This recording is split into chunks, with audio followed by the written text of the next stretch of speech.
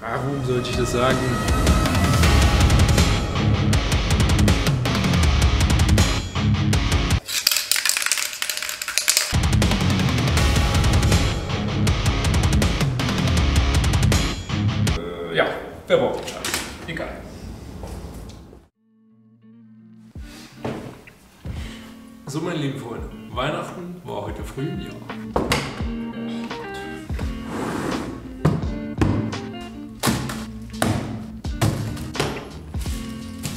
Und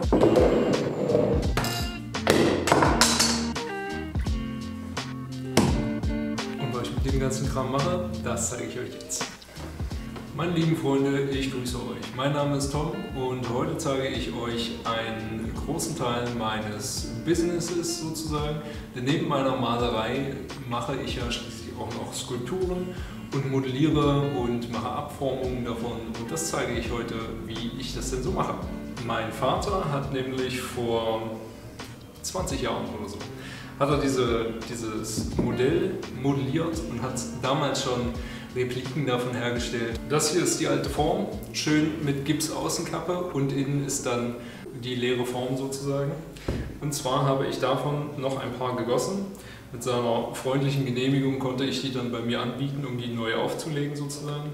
Das ist die Silikonform und ihr seht schon folgendes Problem. Da diese Form schon 15 Jahre alt ist, vielleicht ein bisschen länger, ist sie natürlich gerissen und ich habe dann als erstes erstmal im Zickzackmuster versucht, das Ganze zu retten, um die noch so lange wie möglich benutzen zu können und das hat jetzt absolut sein Limit erreicht, weil mit jeder Form reißt es ein Stück mehr und das bringt absolut überhaupt gar nichts. Und jetzt ist es an der Zeit, dass ich davon eine neue Form mache und zwar der ganze Kram, der, den ihr hier schon rumstehen seht, das ist alles, was ich dafür brauche. Ich habe extra neues Silikon bestellt, mit dem ich noch nie gearbeitet habe, denn entgegen aller gängigen Methoden wurde damals noch anders gearbeitet. Damals gab es noch nicht diese unendliche Bandbreite an Silikonarten und äh, Gießkautschuken, sondern wir haben das dann einfach mit, ähm, mit Baumarkt-Silikon also ganz normalem Fliesensilikon, nachgemacht. Funktioniert auch gut,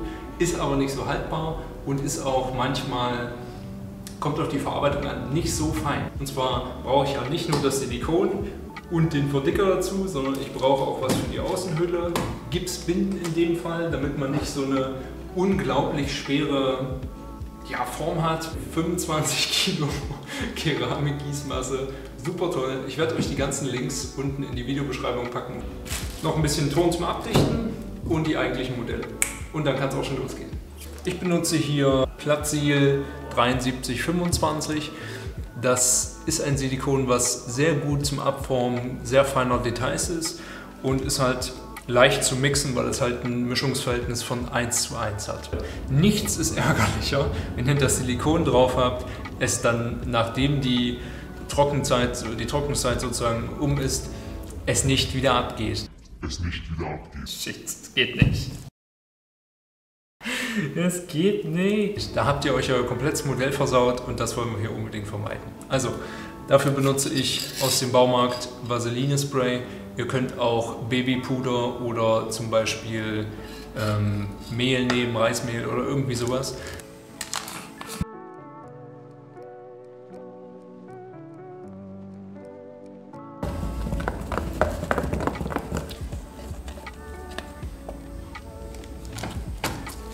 Die Methode, die ich hier verwende, nennt sich Brush-on-Mold. Das heißt äh, auf Deutsch einfach ja, Aufstreichform, weil sie halt initial mit dem Pinsel aufgetragen wird. Die allererste Schicht muss sehr, sehr dünn sein, damit wirklich alle Details erfasst werden und alle weiteren Schichten können dann wesentlich dicker erfolgen. Wie gesagt, 15 Minuten Bearbeitungszeit, das ist nicht viel. Gerade bei größeren Modellen ist es dann wichtig, sich zu beeilen.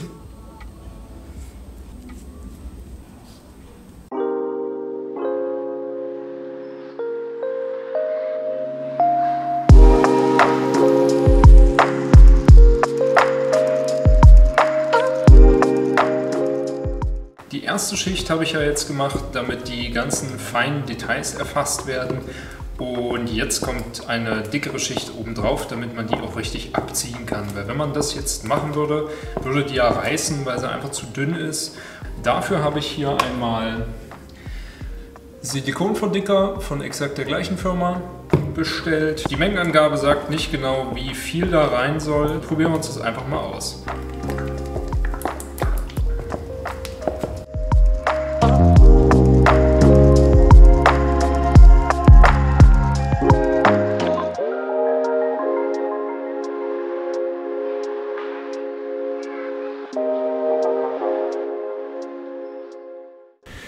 Meine lieben Freunde, für euch sind jetzt bloß ein paar Sekunden vergangen, für mich war es ein ganzes Wochenende. Ich habe nämlich extra nochmal Silikon auf die Form draufgepackt, weil ich nämlich ein paar unterwürfige Stellen hatte.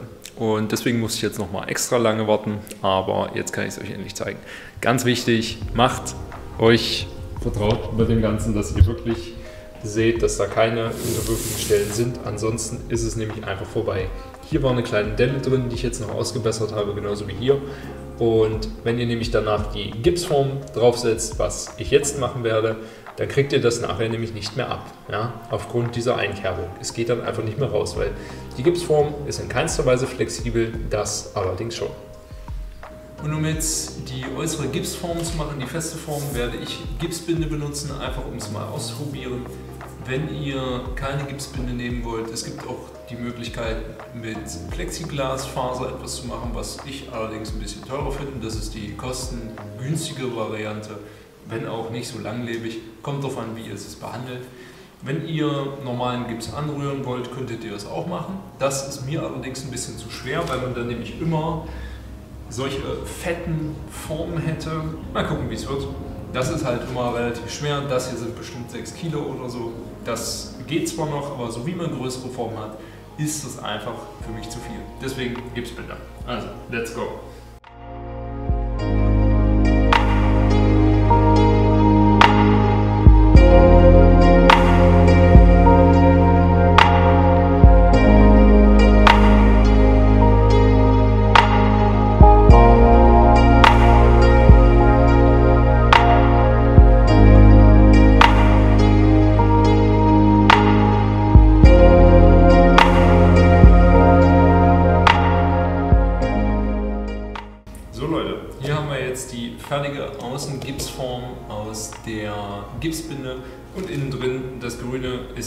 Silikonform und das drin, das hier drin, das ist das äh, Originalmodell. Ja, jetzt puppeln wir das Ganze mal auseinander und schauen uns das mal so an.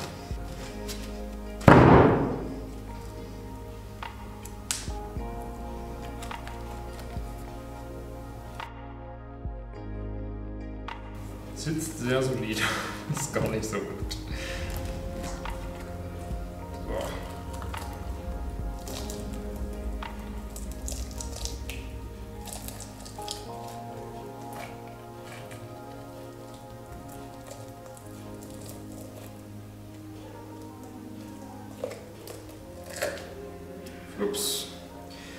Und dann mal wieder unser Urmodell sozusagen. Das hier ist jetzt einmal die ungekrempelte Silikonform. Ähm, ist es okay, so wie es ist. Also es ist ja halt auch eine Krempelform, dadurch, dass es aus einem Stück ist. Es geht relativ schwer, weil ich das Silikon sehr dick gemacht habe.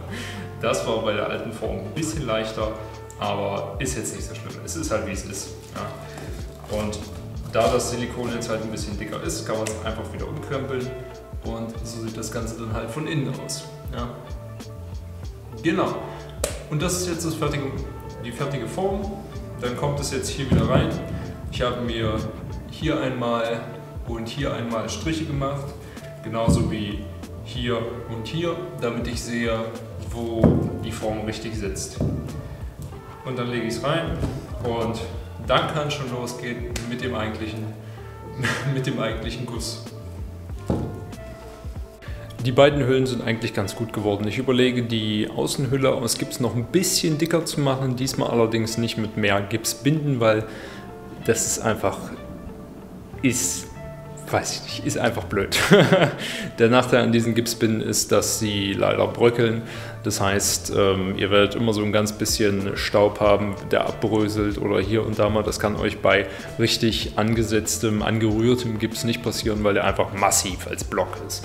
Das ist halt, vielleicht ist wirklich die Kombi aus beiden, dass man sagt, in Gips binde, damit man es relativ fein, fein abformen kann und die Außenschicht dann nochmal äh, aus äh, angesetzt, also angerührtem Gips damit sich das gut verbindet, weil in der Regel sagt man auch halt, wie gesagt, dass man Faser mit reinnehmen sollte, damit man extra halt nochmal die Stabilität bekommt. Und damit einem das nicht aus Versehen auseinanderbricht, wenn es mal einen Riss gibt, weil das ist dann halt wie bei Stein, das bricht einmal in der Mitte durch und dann könnte das ganze Ding in der Tonne prügeln. Das Auseinandernehmen von der Silikonform jetzt hier war natürlich dementsprechend hart, weil die Silikoninnenschicht relativ dick war. Die werde ich beim nächsten Mal auch ein bisschen dünner machen. Erstmal, weil das Silikon richtig teuer ist, nicht so schön. Aber Baumarkt-Silikon ist halt von der Qualität echt nicht, ähm, echt nicht feierlich. Aber weiß nicht, ich verlinke euch ja die Produkte drunter, könnt ihr euch angucken. Ich finde allerdings für 2 Liter Silikonkautschuk, wo man vielleicht, ich sage jetzt mal, drei kleine Formen von machen kann. 70 Euro ist ja ein schön viel. Keine Ahnung. Vielleicht trage ich es auch einfach zu dick auf oder so, aber hm, ich habe bis jetzt noch keine besseren Preise gefunden. Na gut. Jetzt der nächste Schritt ist das äh, Gießen an sich. Das heißt, ich werde jetzt die Figurengießmasse anrühren und dann schauen wir mal, wie es ist. Wasser. Ein Teil Wasser, vier Teile Figurengießmasse. Let's go.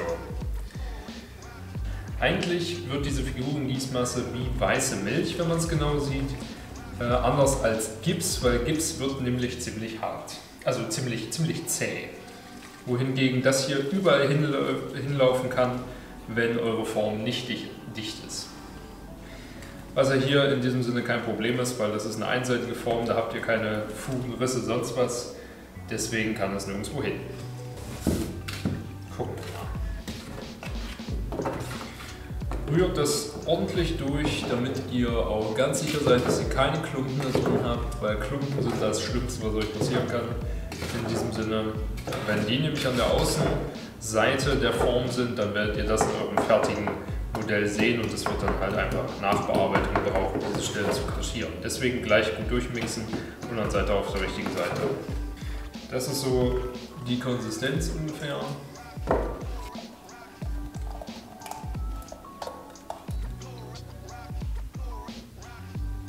Jetzt, da wir die Form voll gefüllt haben, seht ihr schon, ich habe ein paar Klumpen drin, ist jetzt nicht so schön, aber naja, es ist halt so. Und jetzt werden ein paar Blasen aufsteigen. Das, was ich hier mache, ist, dass ich die Form so lange anhaue, bis keine oder wenig Blasen mehr herauskommen. Denn das ist besonders wichtig, wenn ihr nämlich an der Außenhülle Blasen habt, dann werdet ihr die natürlich auch haben, wenn ihr nachher die Silikonform abzieht. Und dann habt ihr halt mitten im Gesicht eine, ein Luftloch und das ist halt wirklich nicht schön. Deswegen, manche benutzen dafür eine Rüttelplatte. Äh, für Resin gibt es da zum Beispiel diese Luftkammern, die die Luft raussaugen, die die Luftblasen dann sozusagen aus dem Ganzen herausziehen. Aber hier würde es reichen, wenn ihr einfach nur ein bisschen äh, schüttelt, damit die Luftblasen nach oben steigen und alles schick. A few moments later. Two hours later. So, gut. Jetzt lassen wir das stehen für 30 Minuten und dann gucken wir, wie es geworden ist. Uh. So, halbe Stunde ist um. Der Kram ist jetzt hart. Das merkt ihr auch daran, dass es warm wird. Also das wird locker, vielleicht bestimmt 30 Grad oder so, vielleicht ein bisschen mehr. Ähm, das Silikon kann das locker ab. Ihr könntet das Silikon noch in den Ofen stecken, das würde auch super funktionieren. Aber jetzt ist die Zeit, um das Ganze halt wieder aus der Form rauszuholen, damit ihr eure, euer fertiges Replikat habt.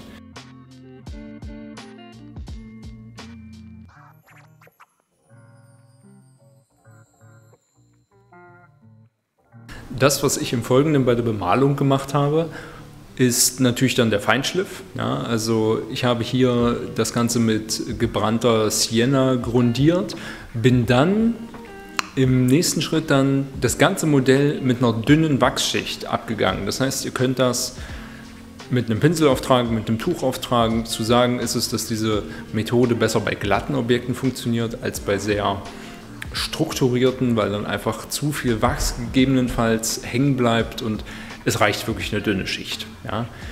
Danach könnt ihr dann nämlich, wenn ihr das Ganze noch mit einem Tuch ein bisschen abgewischt habt, Graphitpulver auftragen, äh, damit ihr nämlich wie einen frischen Metall-Glanzlook erzielen könnt. Ja, also es wird natürlich dann tief, tief schwarz mit einem schönen äh, Seidenglanz. Und zwar einfach Graphitpulver in jede Ecke der Skulptur bringen und danach entweder mit einem weichen Tuch oder mit sehr weichen Pinseln ein bisschen polieren. Ja? Das überschüssige Graphit wegnehmen und dann halt so lange polieren, bis es anfängt zu glänzen. Und das ist eigentlich schon alles. Der Look würde an sich schon reichen. Ich setze hier gerne noch ein paar Akzente. Das heißt, das Blatt wird noch in einem Goldton angestrichen und den Stein werde ich auch in einem Goldton halten. Einfach damit man diese, diese krassen, ein bisschen, naja, edel aussehenden Akzente hat. Zugegebenerweise ziemlich kühl, aber hier fand ich das mal sehr, sehr schön, das mal auszuprobieren. Gerade auch mit dem Wachs und dem Graphitpulver ist das eine Technik, die nicht so gängig ist. Ja, natürlich kann man jedwede andere Acrylfarben auch benutzen, wie ich das bei den Vorgängermodellen gemacht habe. Ähm, ja, ich werde einfach mal ein bisschen rumprobieren, wie das so ist. Ich benutze hier Goldfarbe. Ihr könnt natürlich auch Goldblatt oder Schlagmetall nehmen in jedweder anderen Kombination. In Bronze, in Silber, in Gold. Das würde aus meiner Sicht alles ziemlich gut passen.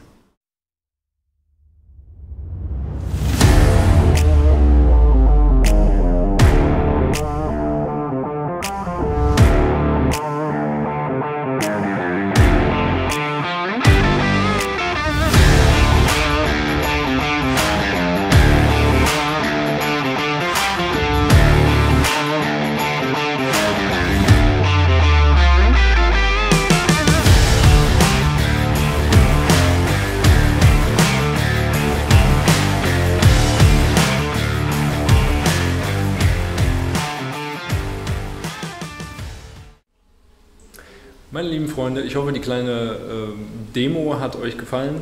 Wenn ihr mehr sehen wollt, dann folgt mir auch auf Instagram unter tobiart96 äh, für mehr Skulpturen, mehr Bilder, mehr alles. äh, mal schauen. Ich denke, ich werde noch ähm, drei, vier Videos zu Skulpturen machen. Auch spezifisch nochmal auf die Bemalung eingehen, wie ich das mache, vielleicht auch zu den Masken. Zu den Masken werde ich, denke ich mal, sowieso noch ein eigenes Video machen, weil da steht auch noch eine neue Silikonform aus die, äh, die alte bröckelt nämlich auch schon. Und deswegen denke ich mal, werde ich genauso ein Video nochmal zu dem Maske machen. Also seid gespannt und schaut rein. In diesem Sinne, bis zum nächsten Mal.